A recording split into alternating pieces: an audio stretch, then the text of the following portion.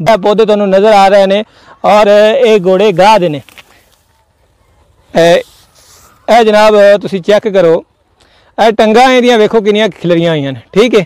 ਔਰ ਇਹ ਟੰਗਾ ਇੰਨੀਆਂ ਫਲਾਉਂਦਾ ਹੈ ਕਿ ਜਨਾਬ ਇਹ ਇੱਕ ਬੂਟਾ ਹੀ ਜਿਹੜਾ ਹੈ ਨਾ, ਉਹ ਇਤਨਾ ਬੜਾ ਫੈਲਿਆ ਹੈ ਕਿ ਜਨਾਬ ਜਿਸ ਵਕਤ ਦੇ ਵਿੱਚ ਇਹ ਮੁੰਜਰ ਆਪਣੀ ਮੁਕੰਮਲ ਕਰੇਗਾ, ਉਸ ਵਕਤ ਦੇ ਵਿੱਚ ਇਹ ਉਹਦੇ ਉੱਤੇ ਸਾਇਆ ਤਨ ਹੋ ਜਾਏਗਾ ਔਰ ਉਹਨੂੰ ਜਿਹੜਾ ਨਾ ਸਾਰੀ ਮੁੰਜੀ ਨੂੰ ਲਟਾ ਦੇਗਾ।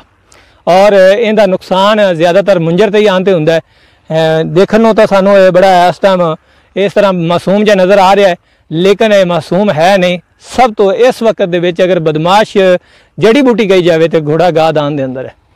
ਔਰ ਇਸ ਦਾ ਤਦਾਰਕ ਜਿਹੜਾ ਹੈ, ਉਹ ਤੁਸੀਂ ਮੁxtਲਿਫ ਕੰਪਨੀਆਂ ਦੇ ਕੋਲੋਂ ਮਟਾਮੀਫੋਪ ਪਲੱਸ ਸਾਈ ਹੈਲੋਫੋਪ ਬੁਟਾਇਲ ਇਹ ਜ਼ਹਿਰ ਦੇ ਨਾਂ ਨੇ।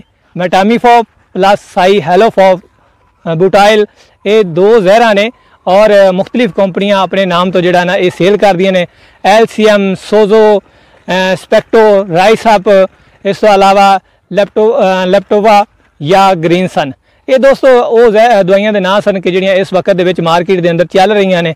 ਅਗਰ ਇਸ ਤੋਂ ਇਲਾਵਾ ਵੀ ਕੋਈ ਕੰਪਨੀ ਇਹ ਜ਼ਹਿਰ ਹੀ ਤੁਹਾਨੂੰ ਦਿੰਦੀ ਹੈ ਤੇ ਤੁਸੀਂ ਉਸ ਦਾ ਸਪਰੇ ਆਪਣੀ ਫਸਲ ਦੇ ਉੱਤੇ ਕਰਕੇ ਗੋੜੇ ਘੋੜੇ ਗਾਹ ਨੂੰ ਬਿਹਤਰੀਨ ਜਿਹੜਾ ਹੈ ਨਾ ਤੁਸੀਂ ਕੰਟਰੋਲ ਹਾਸਲ ਕਰ ਸਕਦੇ ਜੇ, ਔਰ ਇਹ ਕਰਨਾ ਕਿੰਨਾ ਹੈ? ਇਹ ਆਮ ਤੌਰ ਤੇ ਤਾਂ 650 ml ਦੀ ਮਿਕਦਾਰ ਜਿਹੜੀ ਫੀ ਏਕੜ ਬਤਾਈ ਜਾਂਦੀ ਹੈ। ਲੇਕਿਨ ਅਗਰ ਇਹ ਕੰਡੀਸ਼ਨ ਆ ਜਾਵੇ, ਤੇ ਫਿਰ ਤੁਸੀਂ 850 ਤੋਂ ਲੱਗ ਤੇ 1 ਲੀਟਰ ਤੱਕ ਜਿਹੜਾ ਨਾ ਇਸ ਨੂੰ ਸਪਰੇ ਕਰੋ, ਔਰ ਉਸ ਤੇ ਪਾਣੀ ਦੀ ਜਿਹੜੀ ਮਿਕਦਾਰ ਹੈ, ਉਹ ਤੁਸੀਂ 120 ਲੀਟਰ ਰੱਖੋ, ਤਾਂ ਕਿ ਫਸਲ ਦੇ ਉੱਤੇ ਉਸ ਦਾ ਕਿਸੇ ਕਿਸਮ ਦਾ ਬੁਰਾ ਅਸਰ ਨਾ ਪਵੇ। ਔਰ ਸਾਡੀ ਫਸਲ ਜਿਹੜੀ ਹੈ ਨਾ ਜੜੀ ਬੂਟੀ ਤੋਂ ਪਾਕ ਹੋ ਸਕੇ। ਅਗਰ ਅ, ਘੋੜੇ ਗਾਹ ਦੇ ਨਾਲ ਨਾਲ ਅਸੀਂ ਦੂਸਰੀ ਜੜੀ ਬੂਟੀਆਂ ਸਵਾਂਗ ਦਾ ਟਿੱਡਨ ਦਾ ਗੂਈ ਬੂਈ ਦਾ ਅਗਰ ਅਸੀਂ ਮਸਲਾ ਆ ਰਿਹਾ ਸਾਨੂੰ ਪਲਾਟ ਦੇ ਅੰਦਰ ਤੇ ਫਿਰ ਉਹਦੇ ਨਾਲ ਹੀ ਅਸੀਂ ਵਿੰਸਟਾ ਮਿਲਾ ਲਾਂਗੇ। ਵਿੰਸਟਾ ਤਕਰੀਬਨ ਹਰ ਕੰਪਨੀ ਦਾ ਔਰ ਤੁਸੀਂ ਉਹਦੇ ਨਾਲ ਮਿਲਾ ਕੇ ਆਪਣੀ ਜੜੀ ਬੂਟੀ ਤੋਂ ਜਾਨ ਛੁਡਾ ਸਕਦੇ ਜੇ। ਤਾਂ ਦੋਸਤੋ ਉਮੀਦ ਕਰਨਾ ਕਿ ਸਾਡੀ ਅੱਜ ਦੀ ਵੀਡੀਓ ਤੁਹਾਨੂੰ ਬਹੁਤ ਫਾਇਦਾ ਦੇਗੀ ਸਾਡੀ ਫਸਲ ਵਾਸਤੇ ਵੀ ਔਰ ਦੋਸਤਾਂ ਦੀ ਮਾਲੂਮਾਤ ਵਾਸਤੇ ਵੀ। ਤਾਂ ਅਸੀਂ ਇਨਸ਼ਾਅੱਲਾ ਮਿਲਦੇ ਹਾਂ ਤੁਹਾਨੂੰ ਨੈਕਸਟ ਵੀਡੀਓ 'ਚ। ਤਬ ਤੱਕ ਦਿਓ ਸਾਨੂੰ ਇਜਾਜ਼ਤ। ਅੱਲਾ ਹਾਫਿਜ਼।